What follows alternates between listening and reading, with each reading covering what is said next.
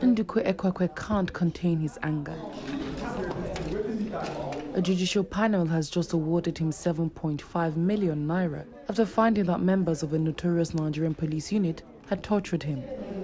That's 18,000 US dollars after an incident he says left him paralyzed from the waist down. No charges have ever been brought against him.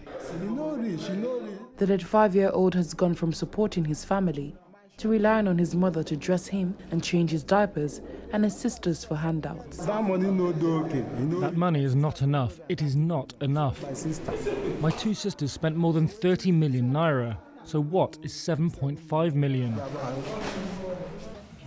Ekwekwe accuses the officers from the now disbanded Special Anti-Robbery Squad, or SARS, of throwing him from his second floor balcony.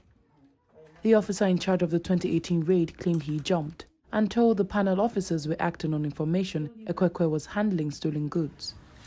The panel concluded Ekwekwe was stabbed and beaten in police custody. It has no power to bring charges, but recommended that police carry out their own inquiry. Lagos State Police did not respond to requests for comment. Ekwekwe's case is one of more than 2,000 being heard across Nigeria.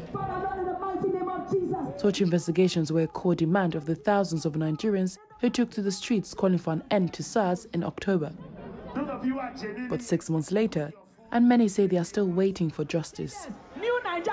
Rinu Oduala is one of the two activists invited to join the Lagos panel, but she left after four months calling it a sham.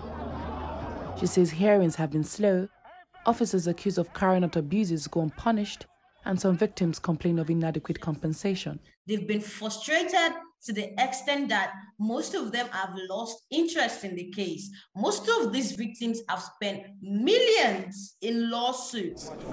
A Ministry of Justice spokesman said it supported the panels. Back at this hearing, Ekwekwe is persuaded to collect his check from a panel chair, Doris Okuwobi.